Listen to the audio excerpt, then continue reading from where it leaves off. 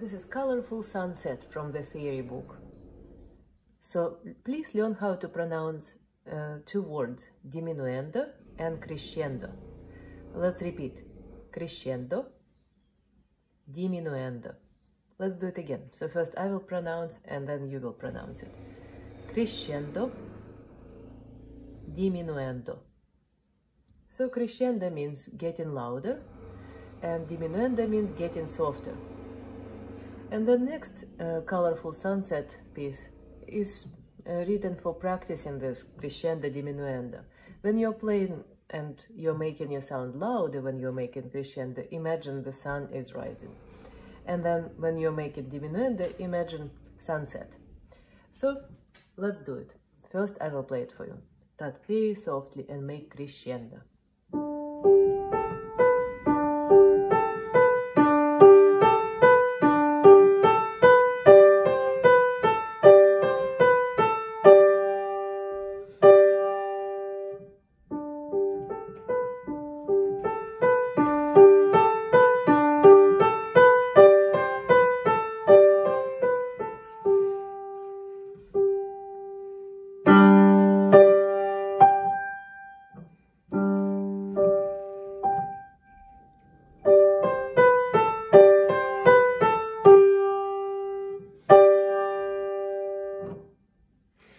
It is very simple in text, but pay very close attention to the dynamics.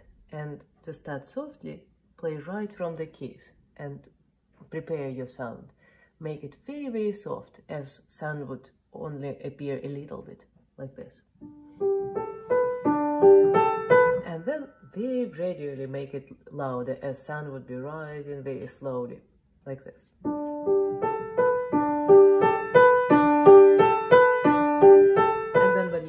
Second line, make it very bright.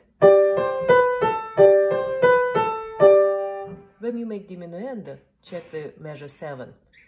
So imagine it goes down. So start very loudly. Go down to the very soft dynamic. And then bright again. Then soft. Start softly and go loudly. Grow loudly. Chord has the accent, so this would be the loudest of the piece. So imagine beautiful sunset and how sunset and sunrise uh, go. And then um, make your diminuendo and crescendo. Thank you.